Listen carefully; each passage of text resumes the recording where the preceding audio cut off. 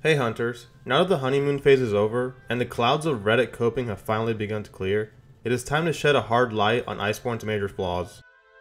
This video will be focused entirely on Iceborne from a speedrunner's angle, so if you came in here expecting me to rant about the grinding lands or how your drumstick dual blades don't meet your visual aesthetic expectations, this is not the video for you. Iceborne shares many of the same issues I had with the base game, except it doubled down on some of the problems, and it also introduced some new ones as well. I have compiled a list of reasons in order of offense to why I think Iceborne is a bad game to speedrun. Reason 1. The Clutch Claw Tenderize.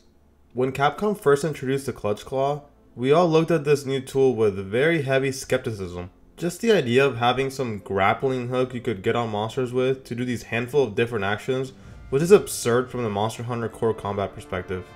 I myself was not really sold on the idea until I really got a feel for it. And to be honest, in action the claw mechanic is quite fun to use. I played entirely Hammer and Iceborne, so I might be a bit biased about this, but the claw follow-ups felt very natural, and the wall bang is always fun to execute and watch. I also really like the enraged shortcut mechanic after you do the triple slap on the monster, giving us speedrunners more ways to begin dishing out more damage quickly. However, what I did not like about the Clutch Claw was the introduction of the Tenderize feature, which will soften a monster's part in order to do more damage to it. This Tenderize feature by itself turns the claw from simply being a neat new tool one can play with, into an over-centralizing part of the combat. Applying and maintaining these spots softened is incredibly tedious and annoying. The Tenderize property only lasts about 90 seconds, which is a minuscule amount of time relative to what the new monster fights lengths are. Capcom to give us openings to apply the new Claw Tenderize gave us the new Clutch Claw Stagger, or Clagger for short. I don't like these at all because they basically force the player to clutch claw in order to really maximize the opportunity. Forcing the player to take very specific actions makes the game really boring to watch in my opinion. Unfortunately, the claw tenderize issue isn't something that I believe that will be changed. This is only reason number one however, so although I find the claw tenderize mechanic annoying and boring, it pales in comparison to some of the bigger mistakes Iceborne has made further down on my list. Reason 2. Missing optionals and rotating quests. How is it possible that we don't have Ruiner Nergigante and Scarred Yian Garuga quests? To be honest, I don't have much to talk about here except to ask the question, why Capcom? I also don't understand why Arena Quest cycle. Arena Quest should always be available to the player. To be honest, I think Capcom views the arena as a shortcut way for the player to quickly grab a monster drop, so it's the reason they deemed the quest too much of a gift to keep it available. I'd rather them just remove rewards from the arena quests and make them available always. Damn it Capcom, get a grip. Reason number 3. Returning base world problems. I grouped together all issues I had of base world in here that Iceborne either didn't change or remade new iterations of the same problem. If you aren't familiar with Monster Hunter World's general issues, I will cover them quickly in this section. Coral Orchestra RNG makes a return in Iceborne, Coral Orchestra is the Palico equipment, which gave the Palico the ability to randomly give the player a wide array of buffs. One of these buffs was a 12% attack boost, which would we speedrunners would grind for. The chance of getting this buff is probably as low as 5 to 10% of the time, making speedrunning without TA Wiki rules a giant reset fest for the best times. Another atrocity that made a comeback was Spare Shot. This skill gave gunners a 20% chance to not expend a shot when firing. Not only did Capcom say they nerfed it, but didn't, but they gave us a charm now that gives us the skill for free. Many gunner speedruns farm for spare shot RNG, so you can see how this makes speedrunning with gunning weapons extremely annoying. But wait, Capcom did not stop there. They did not only give us the spare shot demon back, but gave us the Zinogre heavy bowgun, aka Glutton 2.0. Oh, and let's also give it a scope that increases its damage by, you know, 30%.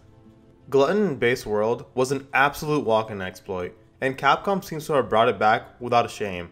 So much for balance. The last two things that are back are daily skills and HP rolls. Daily skills are just random skills that are generated in the canteen every time you go and get your buffs. And the HP rolls are just the random health a monster can have when the quest is booted up. If you weren't aware of it before, you're aware of it now. Monster health can vary even on the same quest. Thanks Capcom. Reason 4. Drunk bird changes. In base world, wingdrakes that dropped you into the map had a chance of dropping you in a random area of the map. Capcom saw how everyone hated it, So instead of removing it, they thought it'd be a good idea to change it to drop you in either a good gathering spot or on top of the same area as the monster itself. I cannot put into words how much this has destroyed my motivation to run this game. Drunkbird drops are now common enough to grind for, but not rare enough that attempting a complex strategy using them is not out of the scope of a player with no job and infinite time. Now not only do I have to grind for RNG that was present in the base game, but now also for the stupid bird to drop me on the monster. This change is one of the major reasons Iceborne speedrunning is now just a complete joke to me. The Drunk Bird changes are an absolute blow to speedrunners who want to speedrun this game. It has channeled many of us into doing arena speedruns, mostly which are now just getting incredibly repetitive to watch. So TSC, why do you care about Drunkbird when TA Wiki rules will probably ban them anyways? Well, I wish the solution was that simple, but the last reason why I think Iceborne is a bad game to speedrun completely destroys TA Wiki players from being able to speedrun outside the arena as well. Reason 5. The Unstoppable Limps. When a monster reaches a certain HP threshold in Monster Hunter, it begins limping to its nest. The limps have always been an issue to stop, but in base world, we had the ability of interrupting these limps with staggers, flinches, or status procs, such as KOs, mounts, or sleeps, which would briefly re-engage the monster and give the player another short window to finish the fight. In Iceborne, however, for some godforsaken reason, this was changed. Monsters now do not stop, but simply take the hit and continue on their way. This change is absolute cancer, and is the reason you see so many TA wiki runs in the arena only. This change is not okay, and is something that needs to be patched back to how it was pre-Iceborne ASAP. It is a travesty that Capcom gives us all these beautiful environments to play with, with much improved AI, only to destroy it all with such a garbage change to the limp mechanic. Arena runs are already so overdone, I don't even click on them anymore. Iceborne just isn't getting the same attention as Base World did, and I believe the reasons I listed are what is holding it back from really becoming a great Monster Hunter game. Thanks for listening, peace out.